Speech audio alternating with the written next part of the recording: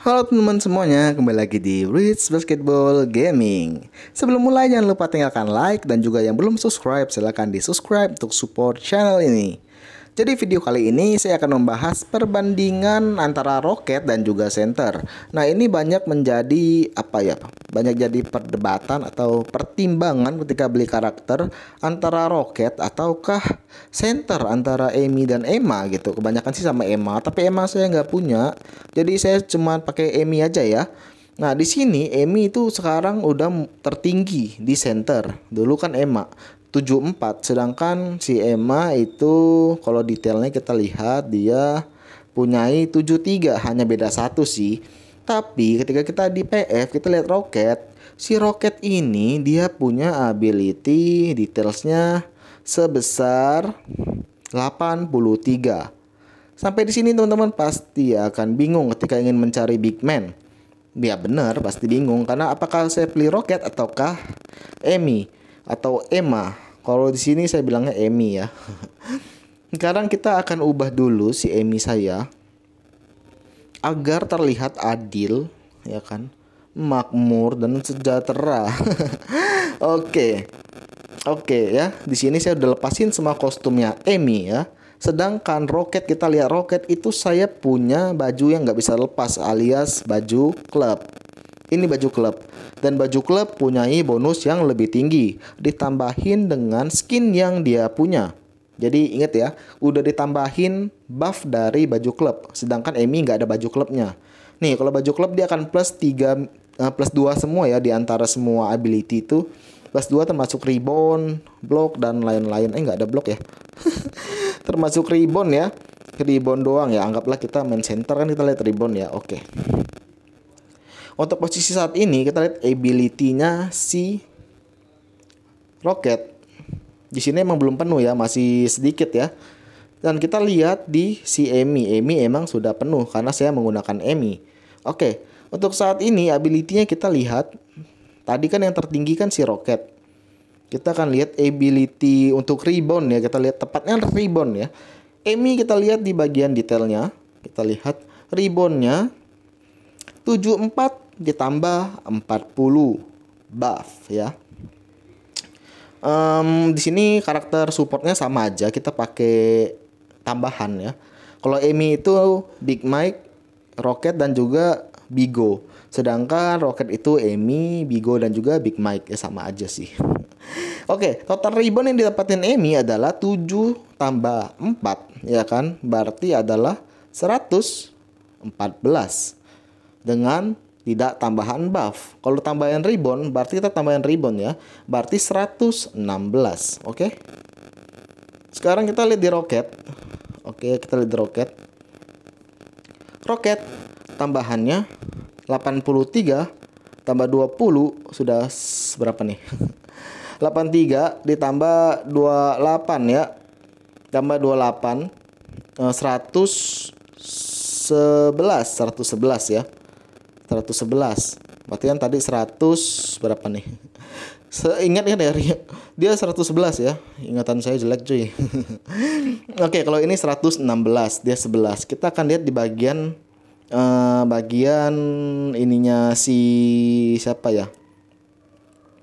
Si roket nah kalau dia strengthen ini kan dia akan menambahkan kotak-kotak yang sudah terisi. Berarti kita hitung sisa ribbon sisa ribbon yang belum terisi oleh si roket. Tadi kan 111 ya kan. Kalau si Emi 116 kita tambahin aja nih. Bagian yang belum nyala ya, bagian yang belum nyala kita cari bagian ribbonnya. Oke, di kotak A tidak ada ribbon, berarti tidak terhitung ya. Tuh, kita lihat nggak ada ribbon ya. Asli ya, nggak ada. Oke, kita masuk ke bagian yang S. S di sini satu biji doang, tidak ada ribbon ya, jadi nggak kehitung. SS kita cari ribbonnya berapa? Nggak ada nggak ada nggak ada nggak ada nggak ada tidak ada. Satu tambah dua ya berarti 113 tambah lagi 115 oke? 115 udah. 115 dari support roket. Nah di sini kok bisa lebih tinggi? Emi gitu kan? Emi kita lihat udah mentok di sini. Ya sudah mentok di sini bagian mana sih di karakter? Si Emi itu sudah mentok dan dia mendapatkan sekitar 116 sedangkan tadi 115 si roket. Kok bisa tipis sedangkan roket tinggi? Ya itu dia perbedaan ya teman-teman.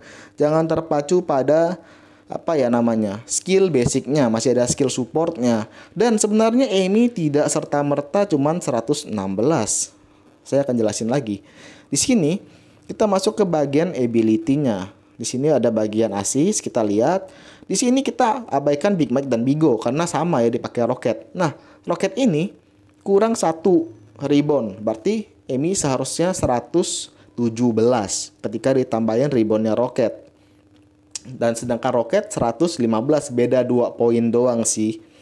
Dan iya seperti itulah kira-kira ya sebenarnya untuk gameplaynya tergantung teman-teman sukanya yang mana sih. Nggak semuanya yang tinggi itu akan berakhir apa ya akan ter selalu dapat ribbon. Nggak juga gitu. Nggak tergantung cara mainnya juga tergantung nyamannya. Enakan gerakin Amy atau gerakin si PF Rocket ini gitu. Sehingga kalau disuruh memberi rekomendasi kalau Emma saya nggak bisa memberikan jawaban karena saya nggak belum punya gitu kalau Emi sama Roket tergantung juga roketnya di dalamnya ada siapa gitu kan. Kalau dalamnya ada Emi sama Emma ya sama aja gitu kan. Jago-jago juga gitu. Backingannya kuat gitu kan. Kalau Emi sendiri kan udah hilang ribbon eh walaupun ditambah sama roket ya contohnya. Kalau misalnya enggak ya ya rata juga gitu. Jadi sebenarnya tergantung gameplaynya karena Emi itu lebih ke ribbon dan juga support assist gitu. Assist dari ribbonnya bisa di ribbon pas. Sedangkan roket dia bisa sambil main ngedang atau enggak follow up dang dan lain-lain. Dia punya skill seperti itu. Keduanya berbeda. Jadi konklusinya sebenarnya tidak ada yang sangat baik gitu. Semuanya semua punya kemampuan masing-masing. Tapi untuk membedah kemampuan ribbonnya yang bikin teman-teman bingung ya seperti itu gitu. Kemungkinan mungkin Emma akan lebih tinggi dari Emi gitu. Karena basicnya juga waktu itu Emma lebih tinggi kan. Belum lagi ditambahin skill dia itu plus 5 ribbon dan 5 ribbon gitu. Kalau teman-teman lihat di bagian sini dia itu punya ability 5 ribbon dan 5 ribbon alias apa ya uh, air dominatornya itu jadi nambahin sekitar berapa kita akan lihat.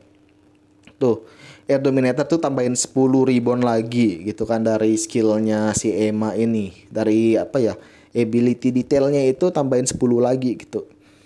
Jadi semuanya berbeda sih sebenarnya. Mungkin ada yang roket yang jago banget gitu. Ya mungkin karena backingan di dalamnya asisnya itu udah tinggi mungkin ya. Atau posisi emang udah hafal aja cara mainnya udah terbiasa dengan timingnya dan lain-lain.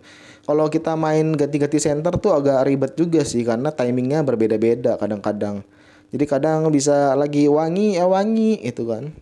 Atau enggak posisi box outnya karena uh, ini streetball dan basket trio itu beda ya. Beda dalam artian sensitivity dalam box out gitu. Kalau basket trio tuh cepet banget ya kan? Baru ditembak teken tuh langsung respon. Kalau dia nih ada kayak delay sedikit sih sepertinya. Kayak kurang responsif aja gitu. Kalian bisa coba main deh basket trio, kenceng banget. Untuk offense juga lumayan kenceng gitu. Oke jadi gitu aja ya perbedaan uh, memilih roket dan juga center gitu. Jadi yang buat yang bingung akhir terjawabkan lah ya. Oke semoga teman-teman memilih karakter yang tepat buat teman-teman mainin dan menjadi jago dalam game. Ya kalau ketemu saya nggak usah dibantai ya. Ya kan? Nggak usah serem-serem gitu. Oke terima kasih buat teman-teman yang sudah nonton. Jangan lupa like dan juga subscribe. Yang belum subscribe saya menjumpa lagi di video selanjutnya. Bye